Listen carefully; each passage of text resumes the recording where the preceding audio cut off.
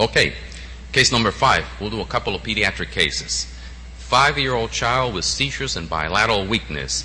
You are shown two images at the same level. On your left, a T1 non-gadolinium image, and on your left, a T2 weighted image. Give you a couple of seconds to look through the images. Ready? Move on to the first question. Okay, the diagnosis is A. Open lip schizencephaly. B. Perisylvian cortical dysplasias. C. Closed lip schizencephaly. D. Bilateral gray matter heterotopias. And E. Transmantle dysplasias.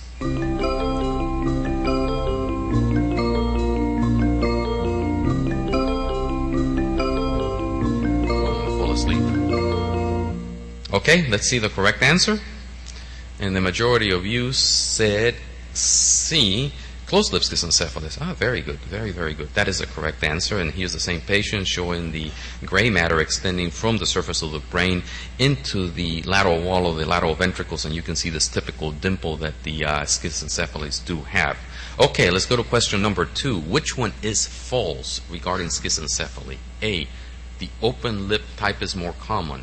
B, most are bilateral. C, they are lined by polymicrogyric cortex. D, they are due to chromosomal defects in some patients. And E, most are found in the frontal and parietal lobes. The.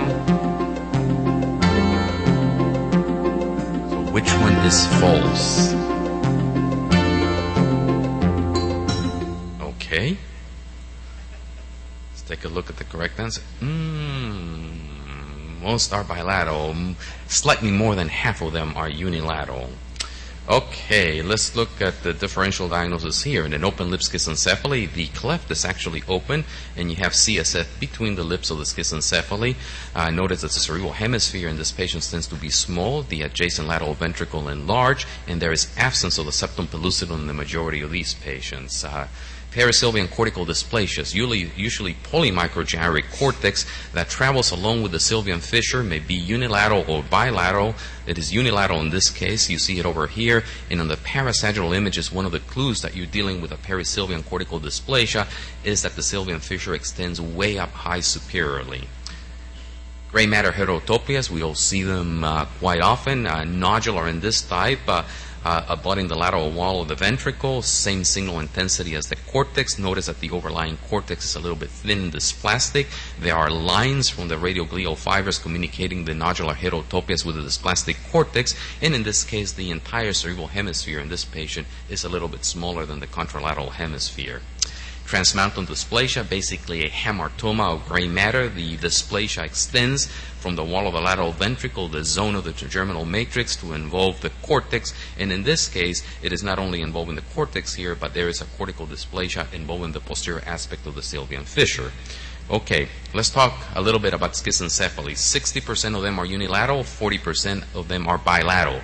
20% of them are closed lip and 80% are of the open lip type. So I actually show you a case of schizencephaly that is not that common because I show you a bilateral closed lip. They may be associated with a, a defect in chromosome 10. The areas of the brain uh, that are most affected are the frontal and parietal lobes, and the symptoms associated with them are seizures. Curiously, they tend to be less common and less prominent when the schizencephaly is bilateral than when it is unilateral.